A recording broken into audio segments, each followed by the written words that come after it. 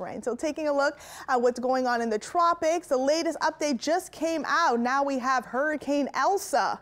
So it is continuing to strengthen and it is moving into the Caribbean right now over the Lesser Antilles.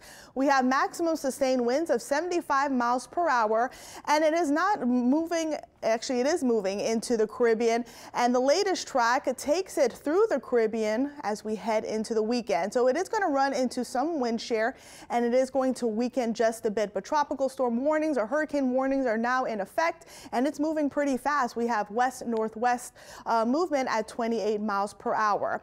Now as we head into Monday and also early Tuesday, as it gets closer to Cuba, it is expected to make that northward turn as it heads into the Gulf of Mexico, staying along the coast of Florida. So the models are in better agreement heading through the Caribbean here, but notice after Monday and Tuesday, it starts to split, so the uncertainty remains high. Taking a look at the setup here, we have a subtropical upper level ridge that's going to remain over the Atlantic, and that's what's actually staring Hurricane Elsa. So here's your seven day forecast. 91 today, partly cloudy skies. Rain chances increase as we head into tonight. Saturday, we're looking at scattered showers, heavy downpours, but that's going to keep our temperatures low in the mid 80s. A few lingering showers are possible Sunday, but much drier Sunday afternoon.